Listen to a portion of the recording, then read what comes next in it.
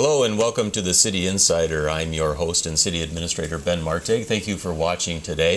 I'm fortunate today to have a guest here, uh, Darin Rahm with the Convention and Visitors Bureau. He is their director of the program. And so, Darin, welcome. Thank you. Thanks for having me. All right. Say we, we wanted to, I wanted to find out a little bit more about the Convention and Visitors Bureau, get an update of what's going on, and maybe kick it off with just explain to the viewers a little bit what is it exactly that the Convention and Visitors Bureau uh, is responsible for? Yeah, sure. Thanks. Uh, thanks, Ben. Um, you know, as the Convention Visitors Bureau, we are uh, kind of in charge of uh, all things tourism in relation to people that come to Marshall and events that go on here at Marshall. So um, we will actively promote an event uh, that we know are going to be bringing people uh, to town. Uh, we'll put our resources behind uh, those kind of things. Um, we'll work with local associations and local groups to uh, maximize the the outlook for their their event and things that we can do to help help make their event uh, a success. Um, some of the organizations that we belong to that help promote Marshall, uh, we belong to the Southern Minnesota Tourism Association. Um, that is a great group that uh, for several years Marshall wasn't involved in, and Marshall kind of lost its uh, place on the map with that group. And so we're a part of that group again now, and uh, we're able to uh, showcase a lot of the things that Marshall has has to offer that uh, is really unique to our area. Um, we're also in a, a, we belong to a group called Travel Southwest. Um, it's kind of a subdivision of the uh, Southern Minnesota Tourism Association. Um, it's a nine county area. We try to work uh, together to do even more to bring people to Southwest Minnesota. Um, we just recently joined a group called Minnesota Sports Marketing. Uh, it's kind of uh, what we get for being a part of the Minnesota Amateur Sports Commission.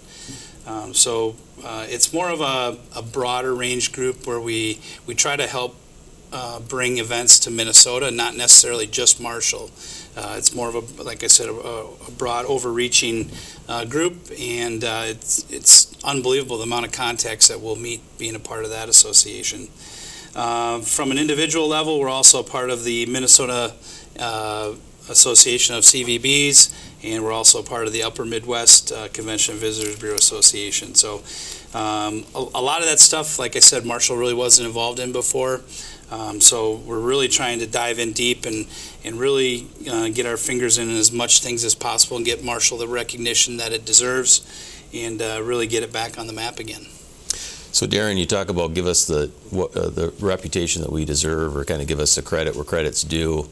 We're Minnesota nice. We're kind of humble folk out here in southwest Minnesota. A lot of people might ask the question, conventions and visitors in Marshall, Minnesota, come on. You know, we're, we're not the Lakes region. It's hard to look in the mirror and kind of reflect on your own selves and the assets you have. Sure. You're fairly new still to the community. You're starting to get seasoned here, I guess, now that you've been here a while. Um, what makes Marshall special? Why are we relevant in tourism? You know, um, that, that's a great question, and, and, a lot of people, you know, ask that. You know, you take, look no further than what's going on here this weekend. Uh, the last weekend in January every year is the Speech Spectacular. We'll have over 600 kids here in town this weekend uh, participating in a speech tournament. So there's lots of groups and organizations like that that uh, have done things well here for a long time and they have the reputation of, of doing things well so we're trying to build off of that and uh, next the following weekend uh, Marshall Amateur Hockey Association has a tournament here in town. We'll have uh, 300 more kids and uh, and their parents and their grandparents. Um, people like coming to outstate Minnesota. Um, we, we do have the reputation of uh, a good fan experience here um, whether it be uh, an arts uh, event or a sports event. Um, we tend to uh, appreciate when those people come and, and, try to make their experience uh, as genuine as possible. And uh, it, it's worked for a long time, and people keep coming back. So, having visitors here, uh, we have great assets. You know, we have Memorial Park, which is unlike any other city park in the region or in the uh, the state or, you know, anywhere in the upper Midwest. We have Ca- the Camden Trail, the Camden State Park. Um, So there's, there's really lots of things to do here. There's not just, oh, is there a hockey game or a baseball game or a Mhm. football game? There's lots of things uh, that people can do here in town that uh, we sometimes take for granted living in outstate Minnesota. Keep that thought. We'll circle back at the end a little bit into some of the general promotions you guys are doing around tourism and conventions in Marshall, but maybe I can jump in if I if I could into maybe some of the areas that's a little unusual for convention and visitors bureaus to get involved in, maybe from your um, from the type of the people that you work with in CVBs in the other parts of the state. So why don't we start there a little bit? Is is that the city of Marshall, uh, you know, that I've worked with you on, we contract with you for a couple of different enterprises for marketing and scheduling related to our Minnesota Emergency Response and Industrial Training Center, the Merit Center, that we have a local sales tax approved and we're opening up uh, some new facilities. And then secondarily, the Red Baron Arena and Expo and our Amateur Sports Commission, the Marsh Tourism, um, Destination Sports, Amateur Sports that you alluded to as well for Marshall. Maybe starting with the Merit Center, explain a little bit the CVB's role in that and kind of how you fit in within that uh, perspective of the Merit Center. Yeah, sure. Um, you know, as far as the Merit Center goes, um, we've identified uh, all things uh, training for police, fire, rescue, industrial training. So what we've done is we've kind of taken the initiative to uh, resource a, uh, a company, Locate Training, and uh, they are bringing uh, over 20 uh, personalized training events to the Merit Center this year, which in years past, it's kind of been whatever Minwest was going to do at uh, at the Merit Center was kind of all that really happened out there. So um, we're working with uh, Matt Leslie and and uh, Locate Training, and uh, we're we're off to uh, a great success already with some of the training events that have been going on there already, and we we built a training catalog with uh, with Matt's cooperation. Um, uh, he and Audra worked on that. Audra Ross, our communication coordinator, and uh, we built a new website for the Merit Center, and uh, really trying to get the focus on uh, making it an open campus for uh, anybody that wants to come use the Merit Center and really get that message across that um, we are, like I said, an open campus, and uh, we're looking for multiple entities to come to come use it. And we'll have, you know, with the new driving track, um, we've had some initial talks with some companies about bringing their uh, company vehicles out to do some driver training or uh, even like a, a vehicle rodeo type thing.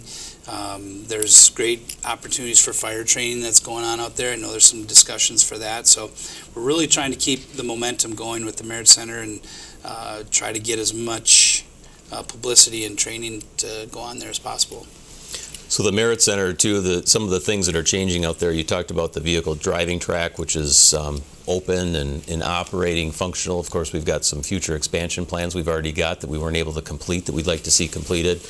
We got a new classroom environment that's up to 90 or so capacity for that, that could be split in half.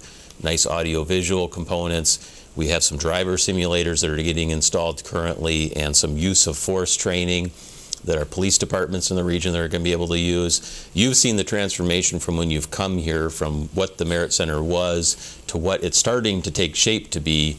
Your perceptions on that facility, um, just from a user standpoint. You know, uh, it really is a unique facility in the fact that there are no other facilities in the area. Uh, even if you go into South Dakota, we've had some talks with some uh, agencies from South Dakota that want to come this way and use it. There's only a few uh, facilities like this in the state or in the upper Midwest that, that you can do this kind of specialized training in. So um, the more awareness that we build for it, uh, the more uh, people start to think, hey, I can have my event there or we can do our training there. So it really, uh, you know, I, I've never seen a facility like it in, in the, the works that I've done in the past, but um, it really is an unbelievable asset for Marshall to be able to bring people uh, to town and uh, show them uh, what what we can do out here, uh, out on the prairie.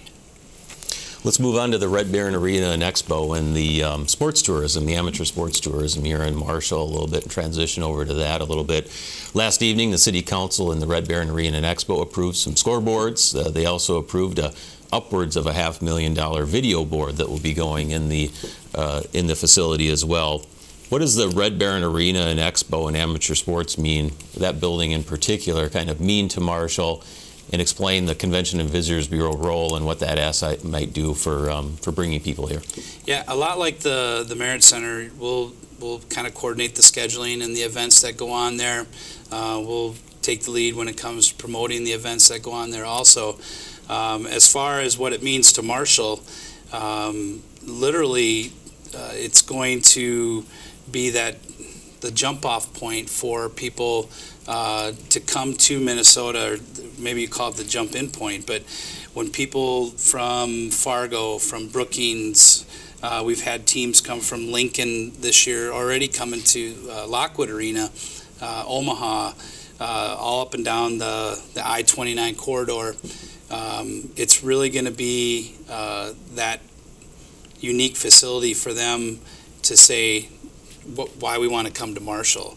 Um, you know, we have tournaments at Lockwood Arena right now that, you know, they're they're good tournaments. They're run well, but there really isn't a lot of difference between going to Marshall or going to New Ulm or going to Mankato. Now with the Red Baron Arena and Expo, uh, we're going to have a facility that stands alone by itself and says, "Boy, we really want to come." Uh, we really want to be a part of that. So it's really going to drive uh, traffic for um, our travelers, our, our visitors, and uh, there's lots of good things to come with that facility.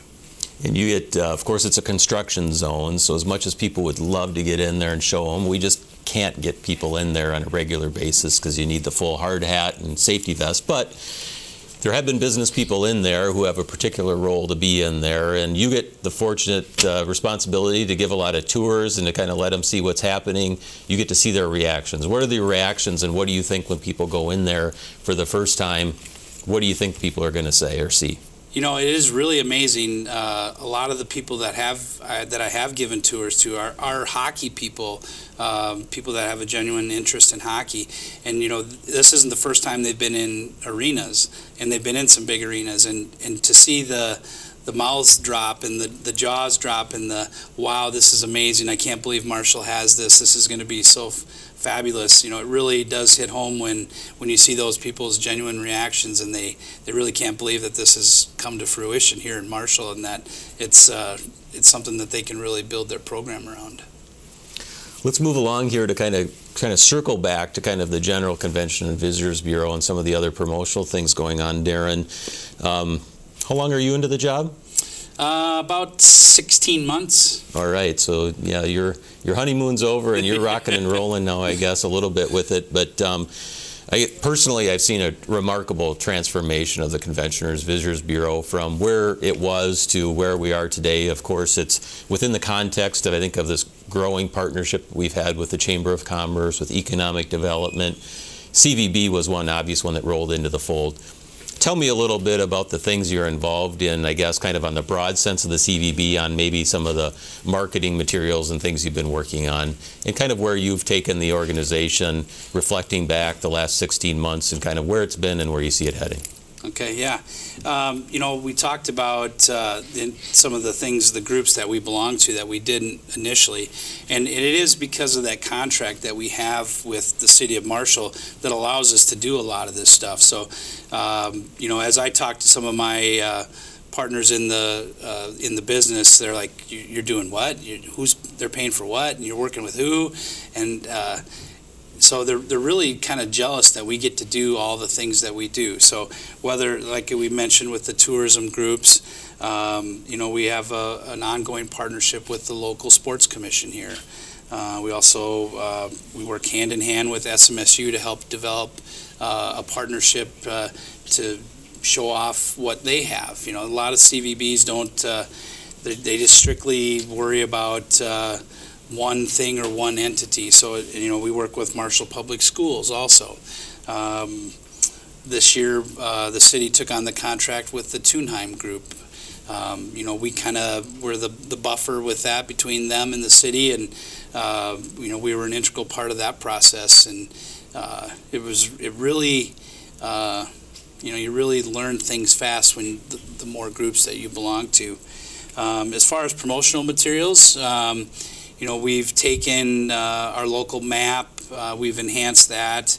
Uh, one of the first things we did is uh, each um, hotel or restaurant had a tear-off map, a quick access thing, and so we revamped that right away, gave it an, a fresh new look, and uh, uh, had a lot of compliments on that. Just recently, we developed a, a, a booklet. It's called the Why Marshall uh, booklet, and it really it's a it's a quick use guide for visitors when they come to town. It's not really a why you should move to Marshall. It's more of a while you're here, here's what you can do type thing, and uh, it's really um, it's really that that building block for uh, associations or groups if they want to have a consistent, nice presented uh, booklet for their tournament. Um, they can take the booklet and uh, through our printer, they can uh, put their own insert right in the middle and uh, use that booklet for their tournament. It'll have a nice clean look. They don't have to go out and sell ads for anything. They can drop their their, their promotional material right in the middle and uh, and, and run with it. So, um, you know, and I'd be remiss if I didn't mention our, our partnership with the, the Chamber of Commerce. We're housed in the Chamber building, 118 West College Drive. Um, it's an unbelievable partnership to be able to work with the Chamber and, and Cal and, and his team there. And uh, it's, it really is unique, the, the partnership. There's not a lot of CVBs that work uh, like we do. So uh, being able to have uh, those guys uh, on hand and, and have that resource, uh, it's just, it's really amazing. So what, did I miss anything here that you wanted to hit on today? Uh, you know, I'll, I'll, I'll just mention that, uh, you know, we've had some talks with Minnesota Hockey for our new uh, Red Baron Arena, and uh, we've pretty much gotten the unofficial go-ahead to announce that uh, in the spring of 17 we'll be hosting the Bantam A and Bantam Double A uh, state hockey tournament here in Marshall. Uh, it'll be the probably the last weekend in March and uh, it, the the Bantam Double A is is an absolute uh, uh, coup for us to be able to have that in outstate Minnesota because it's going to be mostly uh, metro schools and the big schools in the state. So being able to bring them out here uh, and show them what we have to offer, it's just going to be uh, a great building block for us. All right, say uh, Red Baron Arena and Expo and Merit Center. You're the primary contact in your organization for booking and scheduling, and as people get to see kind of what's out there and available, who do they go to for that information? If they have questions about the project or they, they have interest in maybe hosting something there, where do they go? Um, they can get a hold of us at the, the, the CVB office. Uh, 537-1865 is our number there. Um, you can also check us out on our website at visitmarshallmn.com. Uh, or you can go to the, the newly uh, revamped uh, Merit Center website. Uh, that's meritcenter.com. And uh, um, all the links and information that you need uh, to get access to those facilities will be right there. One thing before maybe we wrap up that I didn't get into, Darin, let's just get a little personal. Um, this isn't necessarily the biggest thing you've worked on. You do come with quite a bit of experience behind you as well. Uh, tell us about your experience working in the Metrodome, maybe just for the viewers if they haven't heard that story already. Yep, uh, for about 23 years, it used to be a work study job for me. Um, we did uh, college baseball tournaments at the Metrodome every year, and uh, we would literally uh, rent the facility by the hour and contact teams and set up games and provide uh, everything from opening the doors, closing the doors. Uh, at the Metrodome, and uh, I still have an old set of keys from the Metrodome that won't work anymore because they apparently they imploded it, so it's Right. not there anymore. But uh, got to meet a lot of people uh, in colleges uh, throughout the United States, and uh, it was uh, an unbelievable experience to be able to say that uh, I've seen more baseball games at the Metrodome than anybody else. And were you there when the roof collapsed? Uh, I was not. It was during football season, but uh, it was a very dark day for us seeing that, that roof collapse because we knew instantly that uh, we were we were going to be without a home for a while until they got it fixed. All right, well, we're glad you made our, your way back here to Marshall eventually because uh, you've been a tremendous asset to us, and Thank I'm you. really excited about uh, what's been accomplished thus far with the Convention and Visitors Bureau. I think you've got a bright future, and um, I know I think you've got an envious job. I mean, you get to do tourism, you get to talk about how great Marshall is, you get to work at the Red Baron Arena and Expo. What more can you ask for, right? I mean, you do this job for free, or Um, no, let's see. Uh, no, not quite, but uh, no, it, it is. Uh, it is an absolute uh, thrill to be able to be here in Marshall. Um, it wasn't a hard uh, sell for me to, to come here, uh, knowing that how well everybody works together here through the city administration, through the chamber, um, the business community. Everybody seems to be pushing that rock uh, in the same direction. So it's really refreshing, and uh, having a community like this that's that's growing rather than retracting really makes it easy to be genuine about uh, how good it is to be here. Thank you, Darin, and I know you'll be a regular out in the uh, community and in front of the media to tell us about all the great things that are happening in town and the new events that you're helping to bring here. So look forward to seeing you again in the future. So with that, Darin Rahm, the director of the Convention and Marshall Area Convention and Visitors Bureau. Thank you, Darin, for coming today. You bet. Thanks for having me. That concludes the City Insider. Again, I'm your host and city administrator, Ben Martig. Thank you for watching.